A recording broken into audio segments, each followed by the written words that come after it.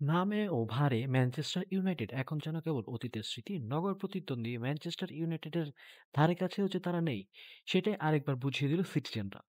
Old ট্র্যাফোর্ডে Manchester ইউনাইটেডকে রীতিমতো বিধ্বস্ত করেছে তারা।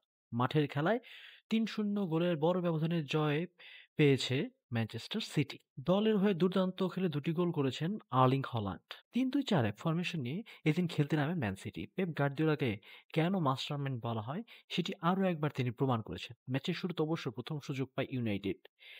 তিন মিনিটের মাথায় ফার্নান্দেজের ক্রস থেকে বল পান ম্যাকটমিন। স্কটিশের শট সোজা তালুবন্দি করেন সিটি গোলরক্ষক এডারসন। ম্যাচের নবম মিনিটে গোলের সুবর্ণ সুযোগ মিস করেন সিটির হল্যান্ড। ইউনাইটেড গোলরক্ষক ওনানাকে একা পেয়েও বল জারেল জড়াতে পারেননি এই নরওয়ের ফুটবলার। গোল লাইন থেকে সেট ক্লিয়ার করেন ম্যাগুয়ের।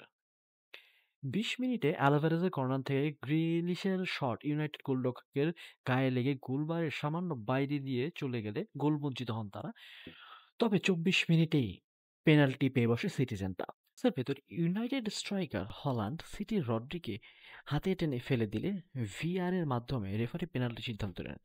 স্পট কিক থেকে গোল করে দলকে এক শূন্য ব্যবধানে এগিয়ে দেন হালান্ড।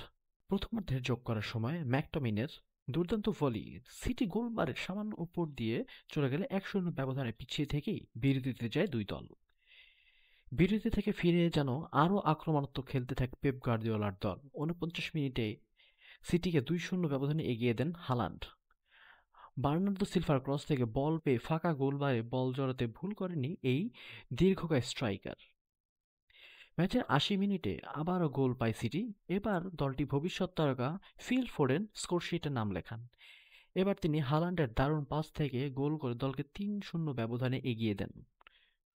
পুরো ম্যাচে মাত্র তিনবারই গোলমুখে শট নিতে পেরেছে ইউনাইটেড, যেখানে সিটি শট নিয়েছে দশটি। এই জয়ে আবারও টেবিলের দুই নম্বরে উঠে আসলো ম্যান সিটি।